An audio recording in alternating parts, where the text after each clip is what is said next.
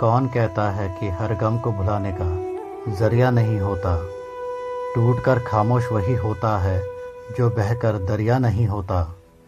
ज़िंदगी कोई झील नहीं जिसे गमों के किनारे बाँध कर बैठे रहे उम्र भर। ज़िंदगी वो सागर भी नहीं जिसमें गमों के दौर के किनारे ना हो।